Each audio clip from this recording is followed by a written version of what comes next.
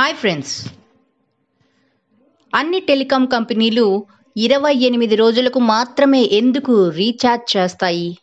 నెలలో ముప్పై లేదా ముప్పై ఒక్క రోజులు ఉండగా నెల మొత్తం కాకుండా ఎందుకు రెండు రోజులు వదిలేసి రీఛార్జ్ చేస్తున్నాయో అనే విషయాన్ని మీరు ఎప్పుడైనా ఆలోచించారా? ఇప్పుడు ఆ ప్రశ్నకి జవాబు ఏంటో ఈ వీడియోలో తెలుసుకుందాం. ఒక ఏడాదికి మూడు వందల అరవై ఐదు రోజులైనప్పుడు ఏడాదికి పన్నెండు నెలలు కాబట్టి పన్నెండు సార్లే రీఛార్జ్ చేసుకుంటాం మనం. అదే ఇరవై ఎనిమిది రోజులు మాత్రమే వ్యాలిడిటీ ఇస్తే ఒక్కో నెలలో రెండు రోజులు అనేవి మిగిలిపోతాయి. అలా ఒక్కో నెలలో రెండు రోజుల్ని పన్నెండు నెలలతో మల్టిప్లై చేస్తే ఇరవై నాలుగు రోజులు వస్తాయన్నమాట. ఇక్కడ ఇంకో విషయం ఏమిటి అంటే సంవత్సరంలో ఏడు నెలలకు ముప్పై ఒక్క రోజులు ఉంటాయి ఇప్పుడు ఎలా లేదు అనుకున్నా నెలకు రెండు మూడు రోజులు మిగిలిపోతాయి. ఈ రోజులన్నిటినీ కలిపితే కనుక ముప్పై రోజులు అదనంగా వస్తాయి. అంటే ఎక్స్ట్రాగా ఒక నెల యాడ్ అవుతుంది అనమాట అంటే పదమూడు నెలలు అన్నమాట అంటే ఈ లెక్క ప్రకారం మనం సంవత్సరానికి పన్నెండు రీఛార్జీలకి బదులుగా పదమూడు సార్లు రీఛార్జ్ చేస్తున్నామన్నమాట.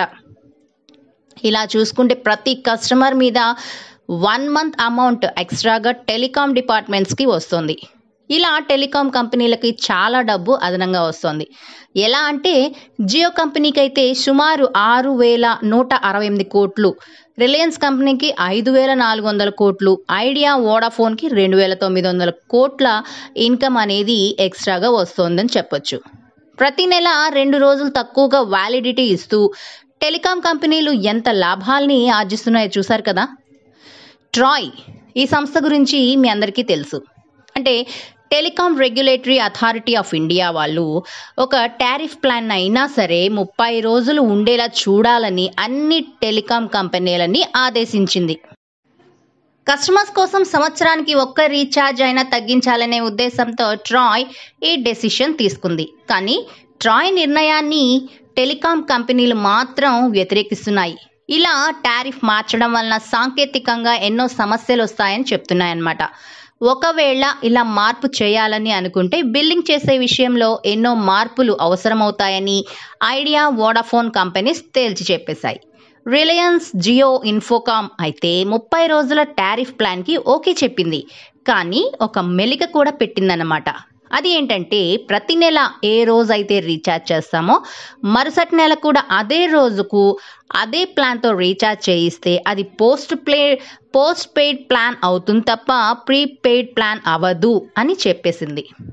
ఎయిర్టెల్ కూడా ఈ ప్లాన్కి నో చెప్పింది. ఎందుకు అంటే ఇరవై ఎనిమిది రోజులకు టారిఫ్ ప్లాన్ అయితే ఆదాయ మార్గం తక్కువగా ఉన్నవారు సులభంగా రీఛార్జ్ చేయించుకునే అవకాశం ఉంది. అదే థర్టీ డేస్ ప్లాన్ పెట్టడం వల్ల టారిఫ్ ప్లాన్ అనేది ఖరీదు కూడా పెంచాల్సిన అవసరం ఏర్పడుతుంది. కాబట్టి ముప్పై రోజుల ప్లాన్ వల్ల కస్టమర్లకు ఎలాంటి న్యాయం జరగదు అని చెప్పేసింది.